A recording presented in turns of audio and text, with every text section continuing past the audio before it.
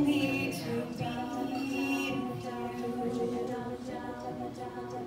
Oh, I have run, I have crawled, and I have scaled these city walls, these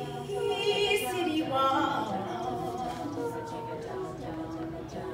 only to be